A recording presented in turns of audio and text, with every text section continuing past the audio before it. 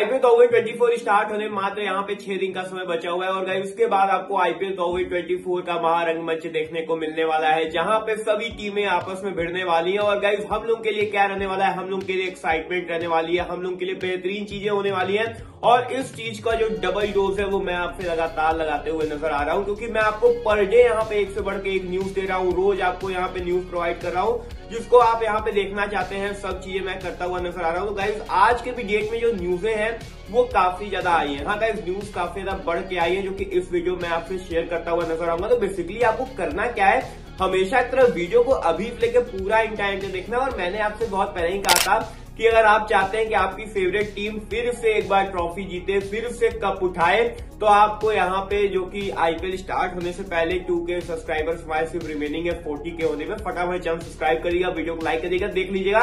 सिर्फ़ आपको छोटा काम करना है, अगर सब्सक्राइब नहीं हुआ होगा, धीरे सिर्फ़ एक बटन दबाना है, फटाफट चैनल सब्सक्राइब हो जाएगा तो प्लीज़ ये काम कर दीजिएगा। सो गाइज़ सबसे पहले हम बात करने वाले हैं पहले न्यूज़ के बारे में। हाँ गाइज़ जो सबसे पहली न्यूज़ निकल के आ रही है, वो निकल के आ रही है चेन्नई को लेके। तो गाइज़ चेन्नई की ओर से जो सबसे बड़ी अपडेट ये निकल के आ रही है काफ़ी लोग मेरे से पूछ रहे भाई डेरल मिचल कब कैंप को ज्वाइन करेंगे?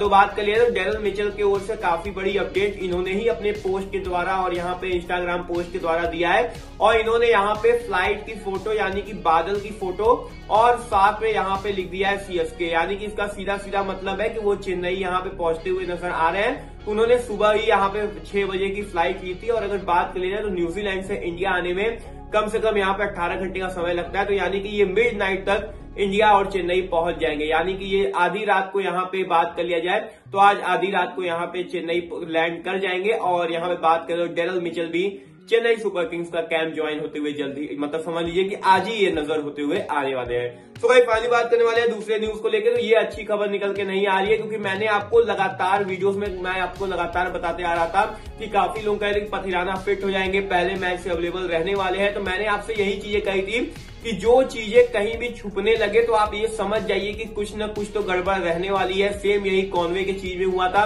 काफ़ी लोग कहते हैं कॉन्वे भी फिट हो जाएँगे फिट हो जाएँगे, लेकिन यही चीज़ का डर था कि यहाँ पे हो सकता है ये ज़्यादा मैचेस मिस करेंगे। सेम वही चीज़ हुआ। और पतिराना को लेकर मैंने कहा था कि श्रीलंकन क्रिकेट बोर्ड इनको लेके चीज़ें छिपा रही है। और जो चीज़ें जब सामने निकल के आई तो यही निकल के आ रही है कि पथिराना कम से कम चार से पाँच हफ़्ते के लिए दूर हो गए हाँ। इस चार से पाँच हफ़्ते के लिए ये क्रिकेट से दूर हो गए यानी कि हैमस्ट्रिंग इंजरी की वजह से ग्रेड ए ही इनका हैमस्ट्रिंग इंजरी था, लेकिन उसके वजह से ये पाँच हफ़्ते तक यहाँ पे आईपीएल खेलते हुए नज़र नहीं आएँगे। यानी कि first half of the IPL ये मिस करने वाले हैं। और मेरे हिसाब में मुझे ऐसा लग रहा है, अगर मैं क्लियर कट अगर मैं बात करूँ तो मुझे नहीं लग रहा है कि ये सेकेंड हाफ़ में भी आ पाएँगे, क्योंकि यहाँ पे श्रीलंकन क्रिकेट बोर्ड इन्हें बचा के रखेगी।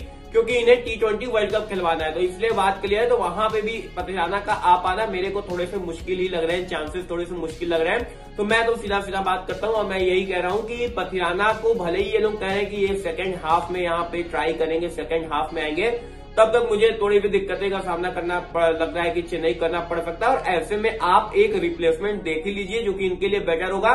तो इसलिए मेरे हिसाब से लग रहा है, लेकिन अगर बात करें तो यहाँ पे पथिराना कुछ बात कर लिया जाए तो ये first half of the IPL को पूरी तरीके से मिस कर चुके हैं। ये पूरी तरीके से कंफर्म रिपोर्ट आ चुकी है। अब सेकंड हाफ़ का आगे चीज़ें देखनी होंगी। लेकिन मेरे तरफ़ से जो क्लियर चीज़ थी, मैंने वो बता दिया है। सो भाई पहली बात करने वाले हैं तीसरे न्यूज़ के बारे में, लेकिन उसके पहले आपको टेलीग्राम को ज्वाइन करना है। क्यों टेलीग्राम को ज्वाइन करना है? क्योंकि पल पल की update picture photos Daryl Mitchell join होने वाले हैं उनकी फ़ोटोज़ में। टेलीग्राम पे सुबह ही पोस्ट कर दिया था। उसके बाद बात करें तो जो भी एक सौ बढ़ के एक न्यूज़ दिन भर में साठ से सत्तर न्यूज़ जो कि आईपीएल से रिलेटेड आ रही है, लगातार चैनल पे पोस्ट होती जा रही है। सब चीज़ें आपको चैनल पे देखने को मिल रही है तो फटाफट से और जो मेन जो न्यूज़ रहता है, वो तो मैं यहाँ प्रोवाइड करता हूँ। लेकिन साठ से सत्तर न्यूज़ वीडियो पे दे पाना मुश्किल है तो इसलिए टेलीग्राम को आपको ज्वाइन कर लेना पड़ेगा। अब तो यहाँ पे एक से बढ़ के एक चीज़ें लगातार आती रहेंगी। लिंक डिस्क्रिप्शन बॉक्स और कमेंट बॉक्स में स्पेशली मैंने यहाँ पे पोस्ट कर दिया है। आप फटाफट से जाके ये चीज़ें आप क्लियर कर लीजिए।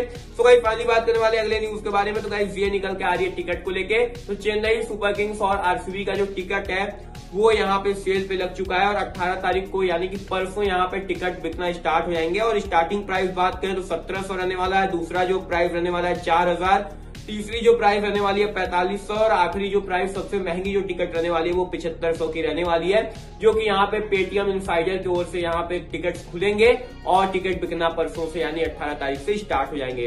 तो भाई पहली बात करने वाले चौथे न्यूज़ के बारे में तो काफ़ी लोग पूछे, स्वामी रिजवी कब आएँगे? मैंने दो वीडियो पहले बता दिया था कि एक से दो दिन के अंदर आ जाएँगे। बिल्कुल ये पूरी तरीके से कैंप को ज्वाइन कर चुके हैं। और समीर रिजवी आप अपने सामने देख पा रहे हैं चेन्नई सुपर किंग्स का कैंप ज्वाइन करते हुए नज़र आ चुके हैं। तो फाइनली जो फैंस का इंतज़ार था कि समीर रिजवी कब आएँगे कब आएँगे, उनका वेट ओवर हो चुका है और समीर रिजवी ज्वाइन हो चुके हैं। सो गाइस फाइनली बात करने वाले हैं पाँचवें न्यूज़ के बारे में। तो गाइस अगर बात करें तो आईपीएल 2024 के जनरल इलेक्शंस के डेट सामने आ चुके हैं। एक जून तक यहाँ पे होने वाला है जनरल इलेक्शन जब से भी स्टार्ट होगा, लेकिन एक जून तक चलता हुआ नज़र आएगा। तो अलग अलग ब्रांचेस में ये होता हुआ नज़र आएगा।